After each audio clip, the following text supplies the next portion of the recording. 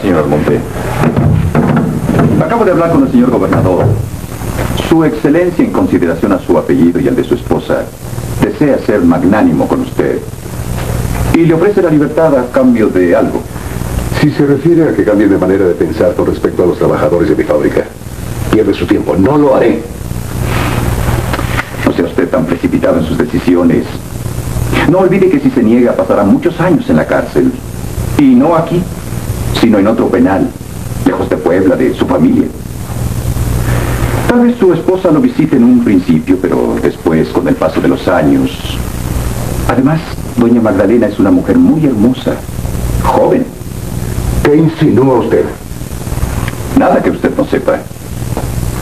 Por cierto que el capitán Álvarez se ha portado muy bien con su familia. Muy solícito con su esposa. Bueno, ya basta. No le permito expresarse de esa manera de mi esposa. Y si lo está haciendo para convencerme a aceptar su proposición, le digo de una vez que no. No sea tan terco. Razone un poco. Si se le condena, perderá usted familia, apellido, honor y tal vez la vida. Porque son muy pocos los que logran salir vivos de San Juan de Ulúa.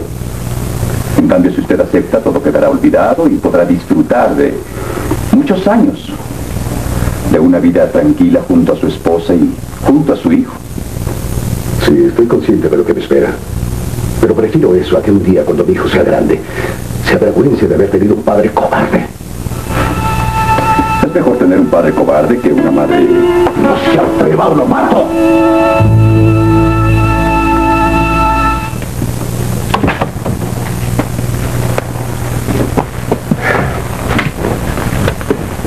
Gracias, doctor. Hasta luego. Pues, ¿ya se fue? ¿Qué te dijo? Que ya no tiene remedio. ¿Qué, ¿Quieres decir que, que se va a morir?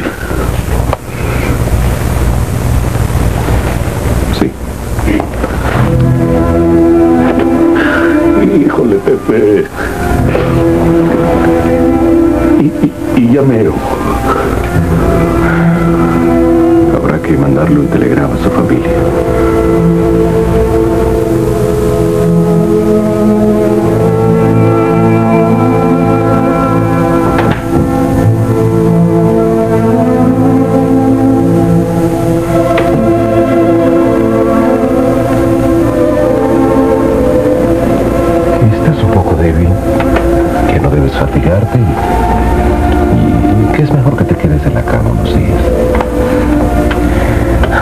Levantarme, no puedo.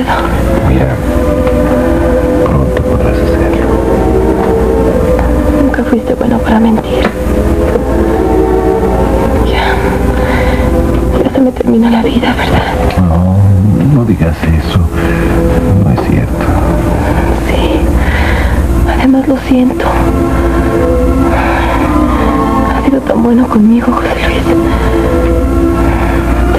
Tanto estos meses de felicidad. Y muchos más tendremos juntos.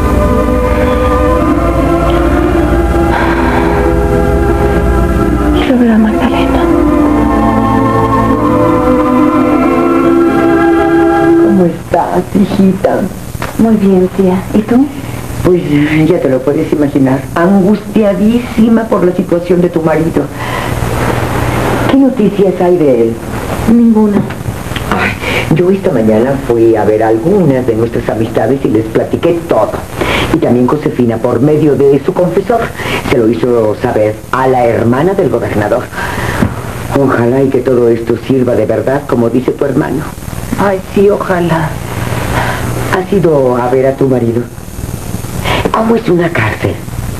Ah, es el lugar más espantoso que te puedas imaginar. Es sucio, deprimente. Ni siquiera tienen un cate para dormir. Se tiran en un montón de paja como animales. ¿Y tu marido también? Sí. Ay, hija, qué pena. Y, y cuéntame, eh, ¿cómo está Alejandrita? Muy bien. ¿Quieres verlo? Ay, claro que sí, ha de estar precioso. Ven.